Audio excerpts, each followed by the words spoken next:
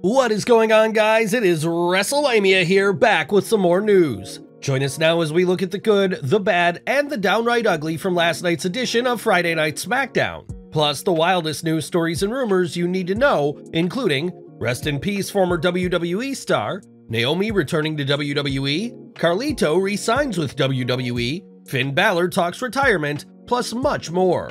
Be sure to subscribe and hit that notification bell for daily wrestling videos, and follow us on Facebook for exclusive lists. As always, we won't recap the show, we'll just provide the good, the bad, and the ugly. The good, undisputed tag title match. Last night, SmackDown kicked off with an undisputed tag title match as Kevin Owens and Sami Zayn took on Pretty Deadly. This was a huge match for Pretty Deadly, as it was, in theory, their first major test on the main roster. It's safe to say they delivered, and the duo are going to be stars in the tag division for years to come. Owens and Zayn were excellent as always, and it's fantastic to see the tag titles being treated as a big deal in WWE. LA Knight shines. LA Knight received the largest ovation of the entire evening on SmackDown last night, LA has managed to get over organically, and last night's SmackDown was a great showcase of why he is over. LA had an entertaining showing in a promo segment with Logan Paul, and he was heavily protected in the triple threat match with Butch and Santos Escobar.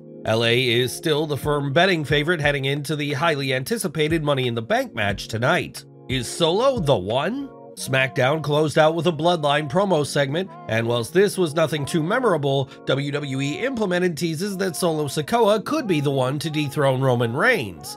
The Usos would state that Sikoa is going to be their new tribal chief, and the crowd reacted insanely positively to this tease. Are WWE now planting the seeds for Solo to be the next top guy in the company? Time will tell. The bad Asuka versus Charlotte Flair. Asuka and Charlotte Flair have had some excellent matches in the past, but last night's match failed to hit the mark. Due to the non-finish which saw Bianca Belair get involved, the two seem to be going through the motions for the entirety of the matchup. The two can deliver much better than this, and the eventual triple threat between Asuka, Flair, and Belair will hopefully make up for this disappointing encounter. Austin's Theory's presentation. Since WrestleMania 39 and his monumental win over John Cena, Austin Theory has struggled to find a meaningful place on the card. Last night, Theory defeated Ridge Holland with a dropkick, and it's crazy to think that Theory defeated Cena back in April, as he just didn't scream future main eventer in this SmackDown match. WWE looks to be moving towards a Theory versus Sheamus feud, but why a substantial post-Mania feud for Theory has taken this long to put together is anyone's guess.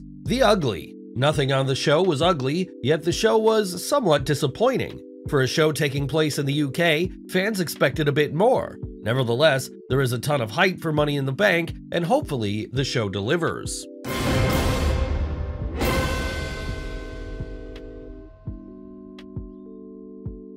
Former WWE star passes away. Our top story today shares some unfortunate news as former WWE star Droz has passed away. Droz was a star of the beloved Attitude Era, and although a life changing incident in the ring ended his career, Droz never let this break his spirit.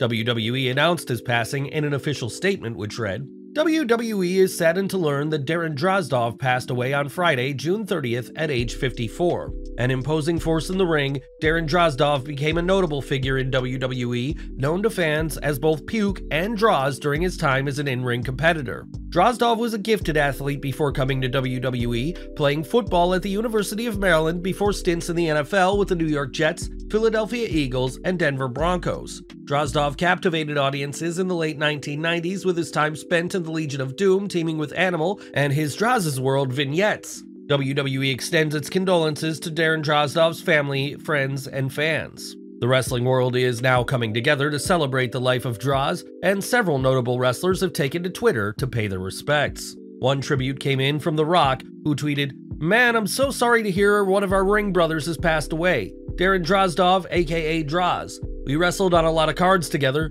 Such an awesome dude. Great personality and great wrestling talent. We always talked about football and fishing, sending love, strength, mana, and light to his family. RIP, brother. We here at Wrestlelamia offer our condolences to the family, friends, and fans of Droz. Naomi willing to return to WWE? Naomi, aka Trinity, is currently shining in Impact Wrestling, but that doesn't mean she won't eventually return to WWE. During an interview with Ariel Helwani, Naomi's husband Jimmy Uso discussed the possibility of Naomi returning to WWE, and it's looking positive. Of course, WWE fans will see her again. Even she would like to come back. At the end of the day, we started our career here at WWE, and in a perfect world, we'd like to finish here in WWE.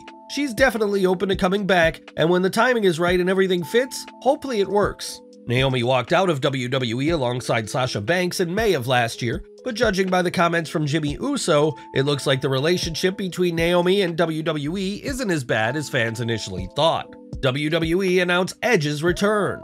WWE have announced that Hall of Famer Edge will return to SmackDown next week. SmackDown is set to take place at the historic Madison Square Garden, and Edge is set to appear on the Grayson Waller effect. Due to Edge returning during week one of the SummerSlam build, logically this means that Edge will be working SummerSlam. There are several names being thrown around by fans on social media when it comes to a possible opponent. Names such as Grayson Waller, Bray Wyatt, and even Bobby Lashley have all been suggested. Who would you like to see Edge face at SummerSlam next month? Let us know in the comments below. SummerSlam matches revealed? Speaking of SummerSlam, it looks like WWE are putting together an exciting card for one of the biggest shows of the calendar year. Based off SmackDown last night, it looks like Asuka will face Charlotte Flair and Bianca Belair, Austin Theory looks set for a match with Sheamus, and it looks like Roman Reigns will be taking on either Jay or Jimmy Uso. Additionally, it's been rumored that Logan Paul will be working the show, and names rumored to face him include Ricochet or potentially a member of the Brawling Brutes. Carlito's WWE return confirmed.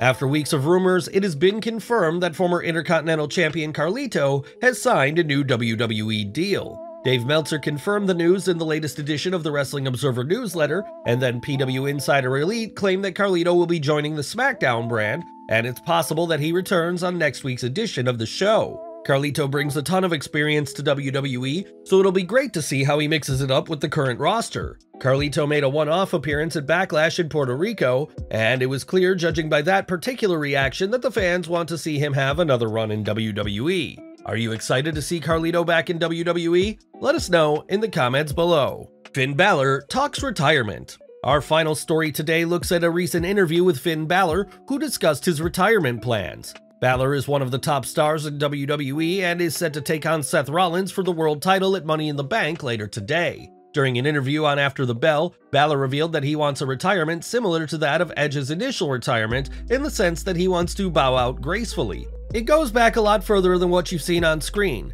I've been a huge admirer of Edge not only as a performer, but as a person his whole career. We became close many, many years ago. When he retired, I was personally disappointed for the fact that I thought I missed out on the opportunity to possibly someday share the ring with him. I always admired how he transitioned out of pro wrestling so gracefully. I thought if someday I'm going to retire from this business, I want to do it the same way Edge has done it. Even though Balor has been wrestling for 22 years, he's still at the top of his game, and he is one of the finest in ring talents in all of WWE. Hopefully, retirement is a long way off for Balor, but it is nevertheless interesting that Balor has thought about how he wants to handle his eventual retirement. There you have it, folks, the wildest news stories and rumors you need to know. Don't forget to leave your comments down below, and I'll see you next time back for some more wrestling content.